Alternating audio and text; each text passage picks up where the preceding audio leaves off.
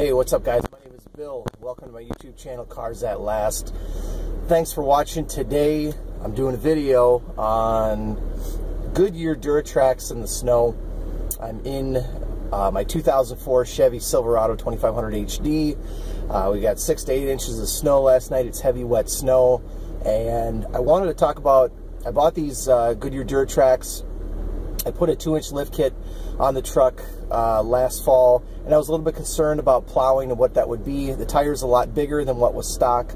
I was always told that when I go snow plowing I should have like tall narrow tires. Well these are tall but they're really wide. Um, but uh, so far the grip has been awesome. Um, I really really like them so far and I just thought I'd do a quick video on the Duratracs and what they look like in the snow and how they're working. So let's take a look.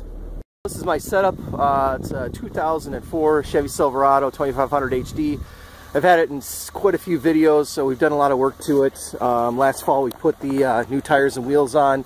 Uh, I run an 8.5 foot uh, Boss plow. I bought it used. Uh, so far it's worked great. I've had about five years. And then these are the Duratracs. Uh, I've got them on 710 by 9 inch rims, Ultra Motorsports with a 1 inch offset. Uh, these are two, tires are 285 70R17s. Um, I've got a little bit of a issue. Uh, I did the 2 inch lift, but um, I need to do a little bit of trimming on my plastic because uh, it's rubbed up against here. So it's a pretty big tire, but overall I'm super, uh, super happy with them. They have tremendous traction, great grip. Um, you can see, I, I mean, I can get my whole finger right into into the groove there. And um, you'll see like on the snow you can even see I do I do uh, snow plowing for my mother-in-law and she even said she she thought the tire tracks were beautiful. Um, and you could see the grooves that and the grip that this is making. It, I mean this is a half inch uh, groove into the snow. So uh, Goodyear Duratracs uh, so far they've been great. I have not gotten stuck at all I did put tire chains on once You can put tire chains on. That's no problem.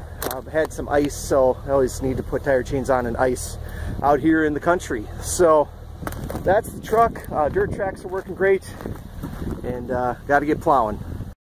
Hey, just for fun, uh, probably a lot of you don't have to plow snow. Uh, I thought I'd show you what a snow plow looks like. This is the controller and you can see just uh, by pushing middle button up here that raises my plow lowers it. Uh, it has quite a movement. And then there's a left and right button right here. Right and left if you want to move the blade right. Go that way, shove the snow that way. And then to the left. So uh, it's very efficient and effective and it handles the snow great. I've got to take this snow up the hill here. Okay, so our Goodyear Duratracs good in the snow. Well, I just finished clearing this path and I don't know if the video will do it justice, but you can see how big this snow pile is right there. Um, and this is had all drifted in. This is probably three feet, a three foot drift. I don't even have, I usually carry a lot of sandbags and cement blocks in the back of my bed. I have one sandbag right now in the back. Again, I've got the two inch lift on the front leveling kit. Um, the Goodyear Duratracs just pounded right through the snow. I had almost no skidding whatsoever and uh, it just cut this path right through here. Piece of cake. This is heavy wet snow as well. Um, you know, it's real soft underneath. There's some mud. You can see even at the bottom there where there's some uh, grass coming out. So great tires, super grippy, well, that's it for the snowplow. I was able to get the driveway cleared off thanks to the Goodyear Duratracs.